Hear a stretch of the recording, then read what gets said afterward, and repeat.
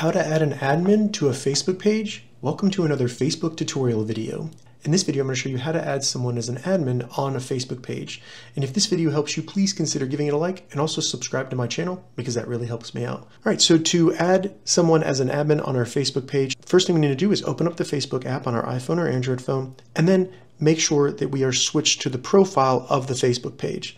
So you can do that by selecting menu in the bottom menu, and then you'll see the little drop down button there. Simply select that and find and select the Facebook page where you want to add an admin. Now that we've switched to the Facebook page, select the menu button again in the bottom menu, and then select the gear in the top right. This will bring us to the settings for our Facebook page, and from here we need to scroll down, and under Audience and Visibility, select Page Setup, and then Page Access.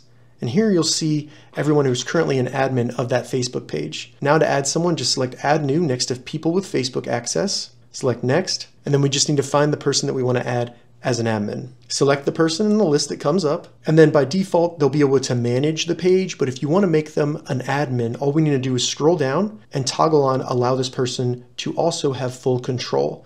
So once you've done that, select give access, enter your Facebook profile password. Once you do that, you'll see that it sends an invite to the person to become an admin on your Facebook page, and they'll have 31 days to accept that. Once they do, they'll be an admin on your Facebook page. If this video helped you, give it a thumbs up and please consider subscribing to my channel. Thank you so much for watching.